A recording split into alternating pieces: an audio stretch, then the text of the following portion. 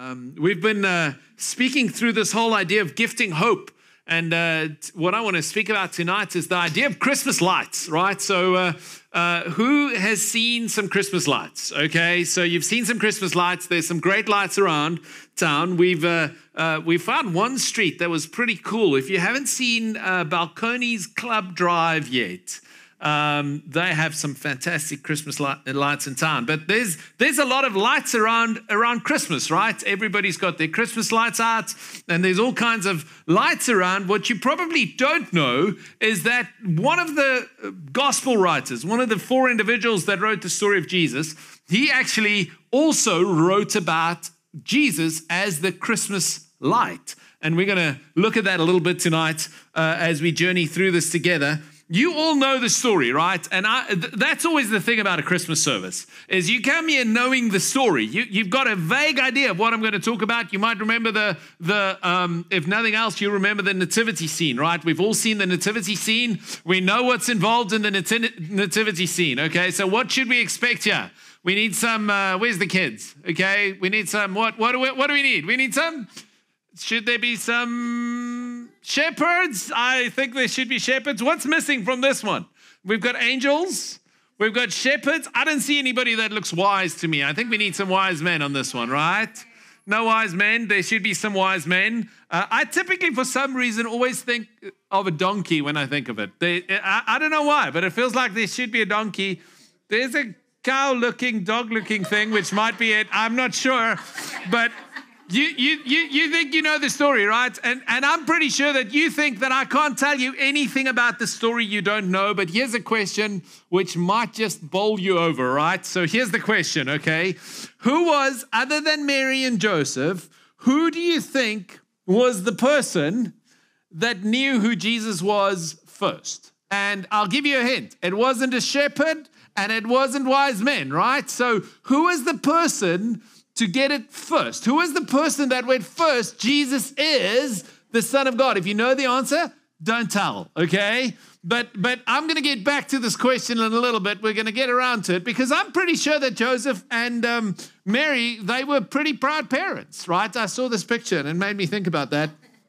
But um, you know they they must have been pretty proud parents having uh, you know the Son of God as a son and all that. So uh, that had to be really cool. But when when the story is being told, when, when this idea of, of Christmas, this idea of God coming to dwell with us happens, this moment happens within the context of actually a very long time of waiting, a very long time of darkness, a very long time of hardship.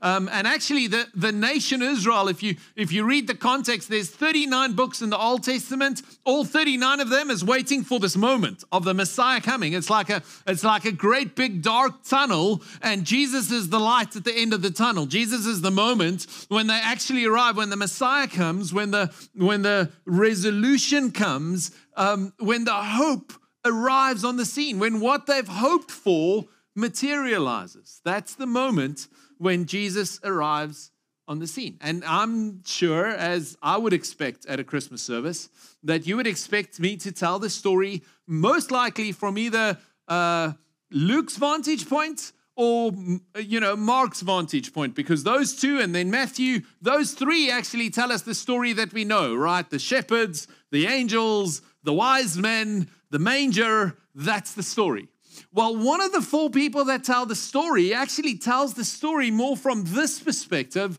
When John writes the story, John writes the story and he writes about Jesus coming as light.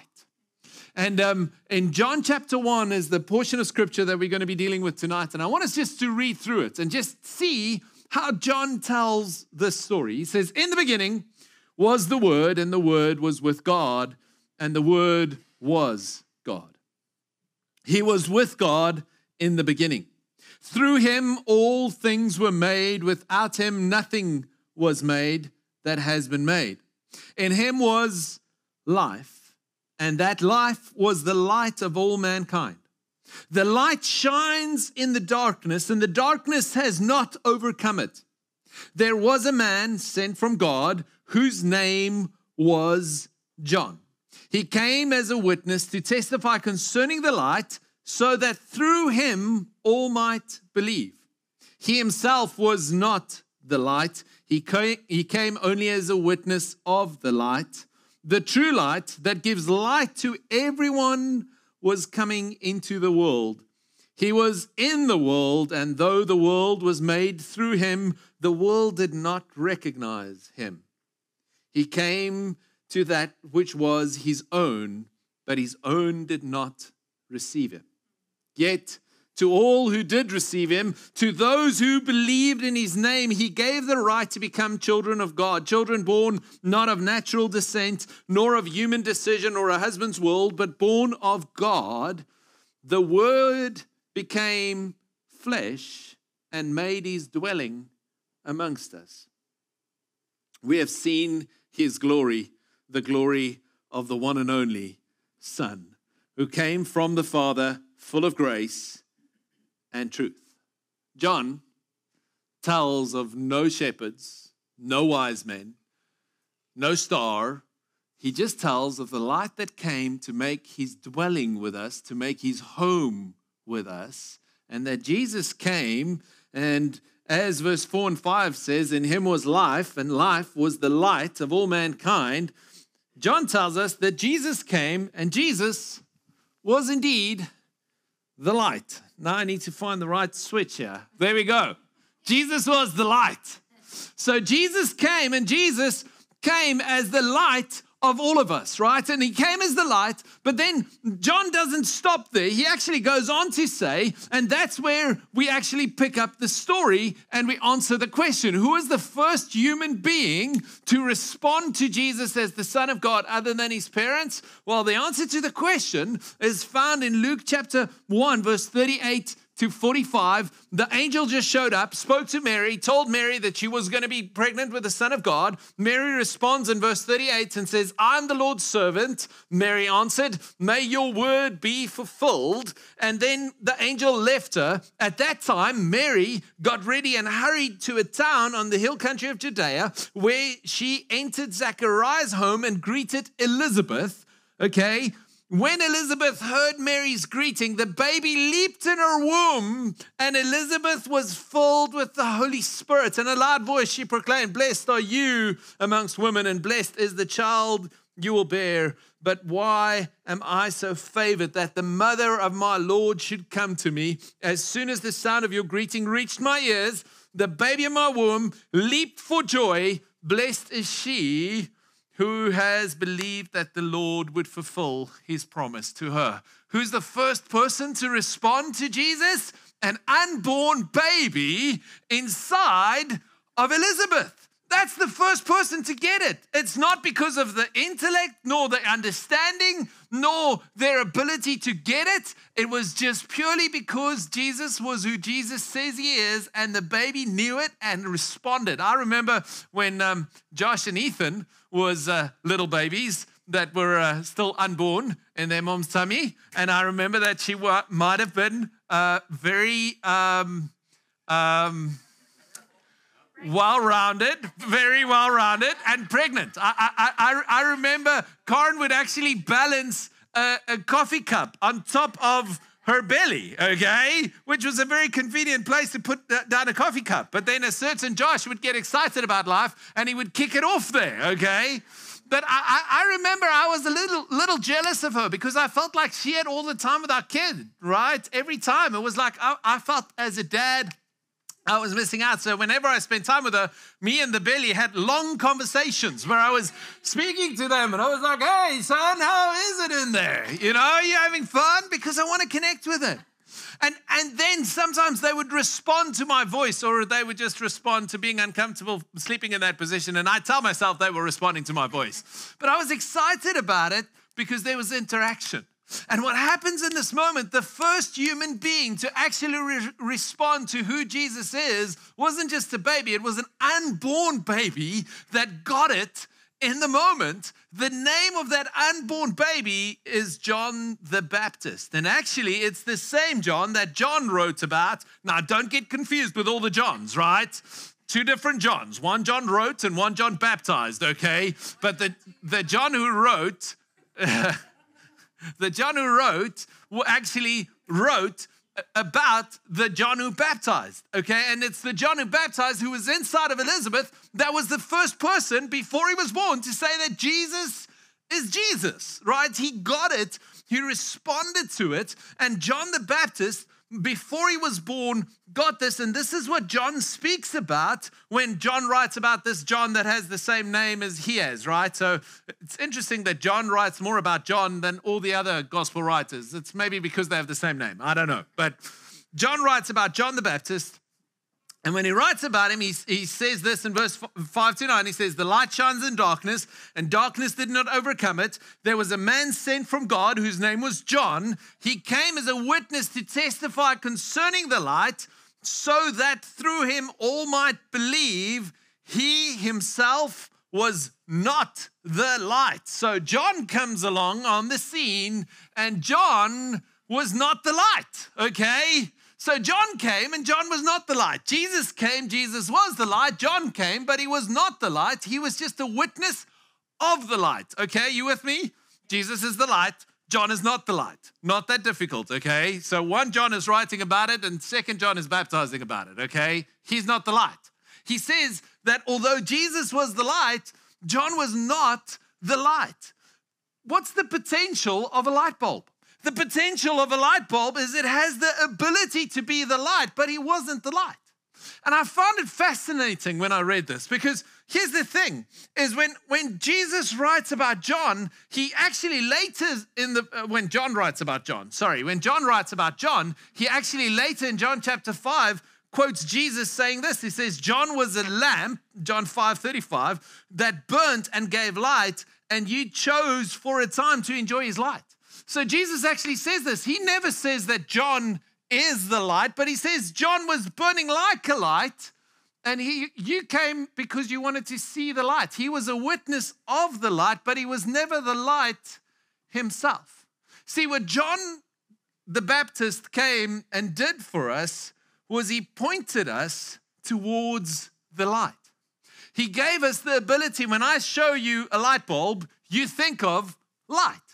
Whether the light bulb is the light or isn't the light, it points to the light. And that's what John the Baptist actually did. It's interesting if you read John chapter 1 by the guy that wrote John, not John the Baptist. When John writes about it, John says this He says, John came, John the Baptist has come so that through him, verse 7, through him all might believe.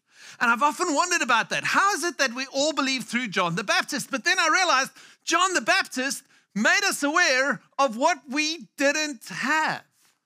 See, because Jesus was the light, John was not the light. And if you read further on in 1 John, verse 9 and 10, then it says that Jesus came to the world and the world did not recognize him because we were in darkness and we are like John, not the light. But when John came along, John showed us what we were missing that we were not light, that we were living in darkness because it says the world did not recognize them. In fact, if you read further, it says that we lived in darkness and we that's the realities. We were living in this darkness. The people that Jesus came to were existing in the space of darkness, and Jesus was the light, and John was the guy to say, Hey guys, you need a light. You need the light. You need to go to the light. I am not the light, but I know the light, and it helped us realize what we didn't have that we didn't have the light, that we weren't living in the light. John the Baptist helps us see that. John the Baptist helps us see that we were living in the darkness, that we were missing out on the light, which was Jesus. So, how many lights on your Christmas tree? Maybe you've been sitting here, like I did when I was in church many years ago, I would count the rafters, right? Or you would count something. Maybe you are you done counting the lights behind me? Okay. What, what, what have you been counting today to keep yourself occupied, right? So if there's a Christmas tree and you see the Christmas tree, how many lights in the Christmas tree? We don't know. And why lights in the Christmas story? I've often wondered why all these lights. Well, every one of those lights actually points to the light, which is what came when Jesus came as the light, and He helped us see that we need the light. We're in need of the light of God to come in our lives, to come and show himself for who he is. If you, um, if you read the story of, of John the Baptist's birth, right? So you, you guys remember that he leaped when he saw Jesus, when he heard of Jesus inside of Elizabeth? Well, when he gets born, his dad, Zechariah, actually makes this statement in, in, in um, uh, Luke 1 towards the end. He says this in verse 78. He says, the, he says, and you, my little son, verse 76, You'll be called a prophet. This is what he says over John the Baptist. He says, You'll be a prophet of the Most High God because you will prepare the way for the Lord. You will tell his people how to find salvation through forgiveness of their sins because God's, because of God's tender mercy, the morning light from heaven is about to break upon us to give light to those who sit in darkness and in the shadow of death and to guide us to the path of peace. So when Zechariah speaks to John, he says, Listen, John, you're going to be the one that will point people towards, that will show them towards the light that is shining, that is breaking like the morning sun. So, um, uh, one of my boys had to do a, a, a school break, breakout camp out at some point in time, and the dads had to go with them. And the area that we went to was um, was quite a you know quite a desert type climate and it was it was really dry but it was it was nice weather and it's known for being a warm climate. And although it was winter my assumption was that it won't be that that cold. Now if you know us well you'd know that i'm not much of a, a camper right? I'm i'm more of a glamper at best right? But everybody was camping so we were going to camp and um, yeah, he was five, so you know we did the whole thing. And of course, Dad had to know everything, so I I, I got someone else's tent and I got uh, you know a sleeping bag, and you know we went camping. So it was just one night. How bad could it be? Um, problem with the climate is it was very nice and toasty during the day, but it got really cold at night. Okay, so during the night, I tried to keep him warm, and you know, eventually I had all the clothes on that I had there. I had everything on that I could find, and I was shivering cold throughout the night. And it was one of those nights in my life that I couldn't wait for the dawn because I knew that when the sun came up, it would get warm again but it was the coldest, darkest night you could imagine. And I remember at some points I just couldn't, I mean, the tent wasn't helping at all. So I was sitting outside looking for a glimmer of hope. And at some point I saw the light starting to come up in the distance. And I was so excited for the sun to come up. And that's kind of exactly what John the Baptist did. John the Baptist was the light breaking, saying, Hey, the light is going to come. And I'm pretty sure that for most of us, this isn't our first Christmas. We've had many Christmases, and sometimes in the traditions of everything and the lights and the presents, I've spoken to some of the kids and they're excited about tomorrow morning. I have no idea why they're excited about tomorrow morning, but I've been told that there's some excitement about tomorrow morning. And actually, that excitement is great because that's the whole point of Jesus. The point of Jesus is for those who live in darkness, John the Baptist came and he said, Don't worry about it, the light is going to come. You can be those waiting for the light. You can be one of those that's anticipating the light coming and, and shining in your life. You, you can anticipate it. And, and, and what's amazing about it is that John the Baptist comes and he shows us that we can see the light and that the light is on the way. But he's not the light, just like we are not the light. And I don't know about you, but in many ways, 2021 has not been the light. I don't know if it's just me, but there are many ways that it feels like this is not the light, right? This is not fun. This is hard work. And maybe you're in a space in your life where you feel like it's not the light. Well, can I tell you? Jesus came so that we might know the light, so that we can see the light. But the problem is that jumping through some religious hoops, or just because you can be the light doesn't mean you are the light. Have you noticed in the Christmas story how it's all about the light? There's a star that is brighter than any of the other stars that the wise men follow. Have you read the story about the, the, the shepherds in the field? What they saw a great, suddenly there was a great light and a whole magnitude. Why the theme of light is throughout the entire nativity story? Because Jesus was the light. He was the breaking of dawn. He was the light at the end of the tunnel. And that is why I love Christmas lights, because for me, every Christmas light testifies of the fact that He is the light. Now, here's the interesting thing Jesus was the light. John was very clearly not the light, and we all lived in darkness. But Jesus came so that we might become the light. Read with me John chapter 8, verse 12. It says, When Jesus spoke again to the people, he said, I am the light of the world. Whoever follows me will never walk in, in darkness, but will have the light of life. You have an opportunity to respond today and to res- follow him. And as we follow him, we don't just see the light, we actually become the light of day. I think I messed up the signs.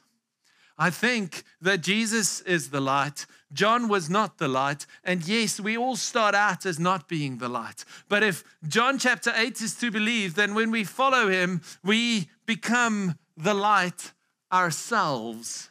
And now I need to be careful that I don't switch John on. Yay! We become the light.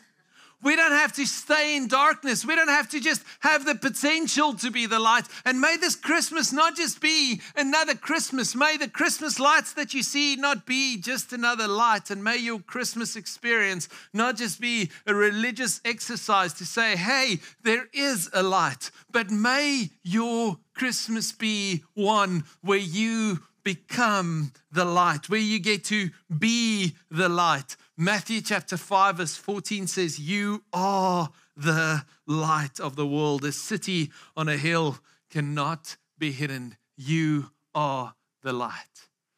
One of the people in the early church um, wrote down something which they attributed to, to Thomas um, one of the one of the disciples. Now, this isn't part of the Bible, but it, it, it's a saying that emerged out of it, and the saying was, "There is a light within a man. Um, there is light within a man of light, and he lights up the whole world. If he does not shine, he is darkness." We have been made to shine. We have been made to shine bright. And my desire is that we will discover the fact that Jesus came so that we might be light. Amy, Corin, you guys can come up. Um, and my prayer is that we will discover that we get to be the light, not just know of the light, not just speak of the light, we get to be the light ourselves. Jesus ends his introduction of Jesus to us in, um, in John chapter 1, and he ends it with these words. He says, The Word became flesh and made his dwelling amongst us. We have seen his glory, the glory of the one and only Son, who came from the Father, full of grace and truth. And when John writes these words, I believe that what he's speaking of is exactly what he has been longing for and what everybody's been waiting for in the darkness of this tunnel as they were waiting for the light at the end of the tunnel, the hope that would come in Christ. And he says that the word became flesh and made his dwelling amongst us. And I am reminded of the words of the prophet Isaiah that years before wrote down and said, Arise, shine, for your light has come, and the glory of the Lord is risen upon you. May we arise and shine, for our light has come. And not only has our light come, but our light has come so that we might be the light. May you see the light. May you be the light. May the light dwell in you and give light to all those that you interact with. May you shine bright this Christmas. May 2022 be an incredible year, not because of the circumstances around you, but because of the light within you. Let's pray together. Lord, I thank you that we get to not only speak of the light today, Lord, we get to not only speak about who you are and speak about the fact that you came, but Lord, thank you that we get to know you as the light. And Lord, so my prayer is today that everyone within the sound of my voice, Lord, would not only become aware of the fact that Christmas is about the breaking of the dawn, the coming of the Christ, God Himself in the flesh, presence on earth, Emmanuel, God with us, that would never change again, Emmanuel, God with us, that would stay with us forever and ever. But God, I pray that we would not only know it through our heads. But God, my prayer is that something would happen in our spirit, Lord God, like what happened to John the Baptist in the womb when he just leapt knowing that this was there. God, my prayer is that the dreams, the, the passions, the, the, the things that are in our hearts, God, that's become dormant or, or maybe dead, Lord, I pray that this Christmas something would leap up again, something would respond to the coming of the light, to the coming of the dawn to the arrival of Jesus. Lord, my prayer is that we will be stirred in our hearts, Lord, excited to not only partake of Christmas and lights and beautiful things and, and, and, and presents and all of that, but Lord, I pray that we will be ignited to be the light that you've made us to be. I pray that in the name of the one that has come to be with us forevermore. In the name of Jesus Christ. Amen.